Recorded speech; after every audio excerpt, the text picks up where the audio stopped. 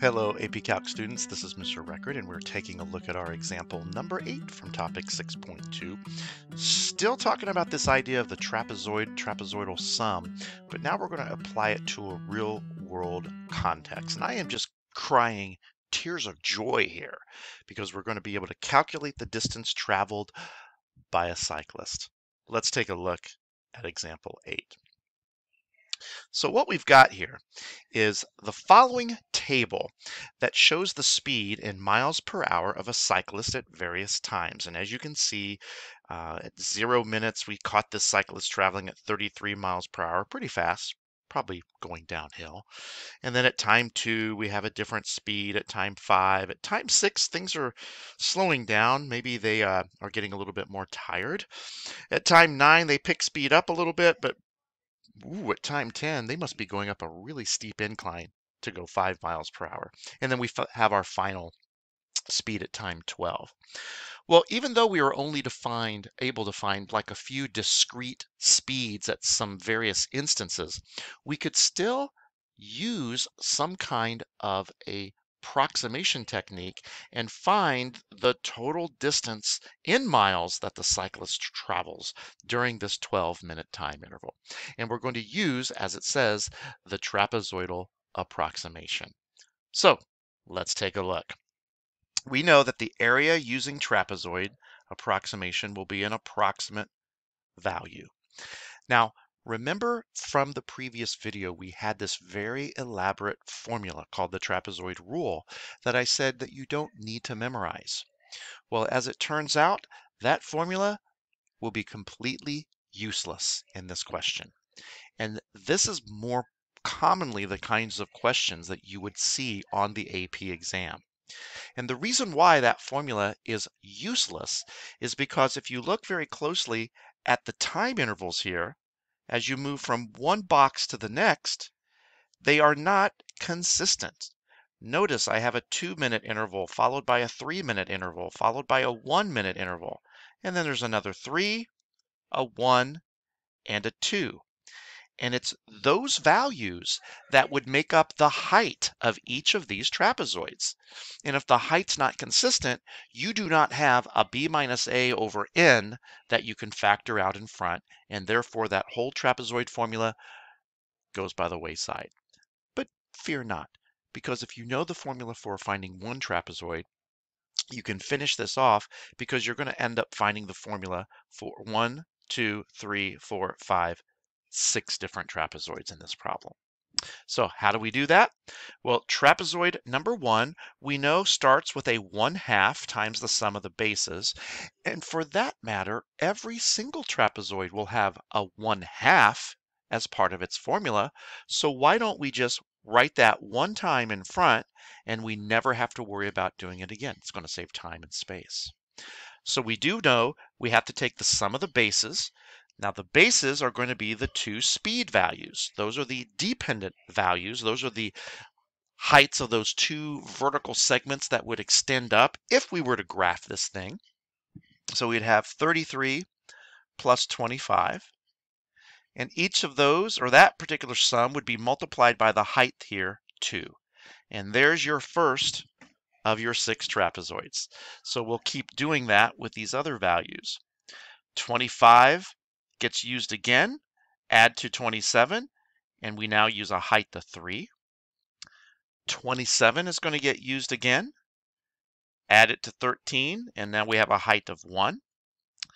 13 will get used again, add to 21, multiply by the height of 3. 21 gets used again, plus 5, multiply by a height of 1, and just not quite enough space, but I'll continue down here with our 5 plus 9. That'll be multiplied by the height of 2. And basically, there's your setup. The rest of it's pretty easy. You just got to do some arithmetic. Let's go ahead and finish this up. Uh, this problem would certainly allow you the use of a calculator. So we'll say 33 plus 25 is 58. 58 times 2 is 116. Now I'm reading these values fairly quickly because I'm not going to enter this in a calculator because I think you can pretty much push those buttons. uh, 25 and 27 is 52. 52 times 3 is 156. 27 and 13 is 40. Multiplied by 1 stays as a 40. 13 and 21. 34 times 3. 34 times 3, I believe, is 102. And then we finish up with 26 plus 14 times 2, which is 28. And then lastly, when we combine all of the values inside the brackets, uh, they add up to be 468. And half of that, of course, is 234. So we start to think about this. The distance the cyclist traveled in 12 minutes is 234. 234 what?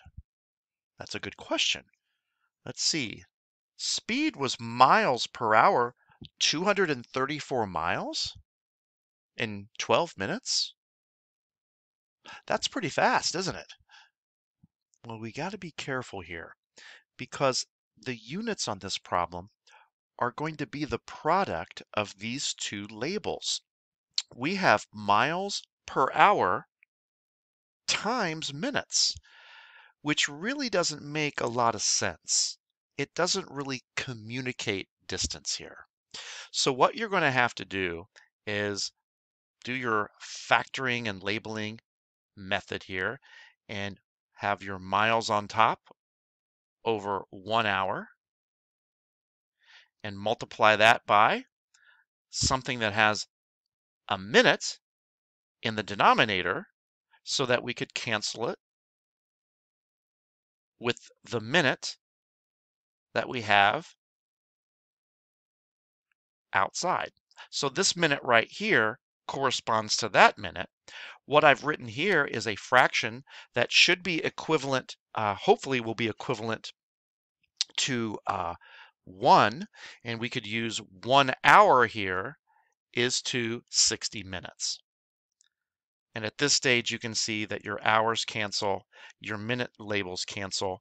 And if you just take 234, um, and I tell you what, I'm going to put an MI there so that looks more like miles and not meters. So if you take your 234 and you divide it by 60, uh, the calculator will give you 3.9. And now you have miles as your units, and that's what we wanted. And that's a lot more reasonable. The cyclist could go about four miles in that 12 minutes. It's still a pretty fast cyclist, though. Now, note a couple of things here. First of all, as far as this uh, labeling is concerned, if those of you saw that this is not a very compatible set of units right off the bat, you could have converted these minutes to hours immediately. Wouldn't have been tough, right? Zero minutes is zero hours. Two minutes would be two out of 60 or one out of 30, one 30th of an hour, etc., etc. But if you decided to do that, you would have had some pretty icky looking fractions in these positions where the height was.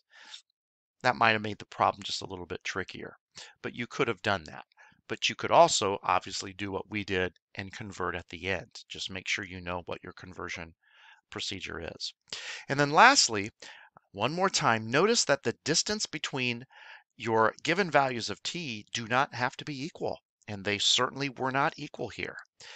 This is sometimes going to be true when you do your rectangular Riemann sums from a table of values. It's often the case on the AP exam, and you're going to have plenty of opportunities throughout the rest of the course to see some examples like that.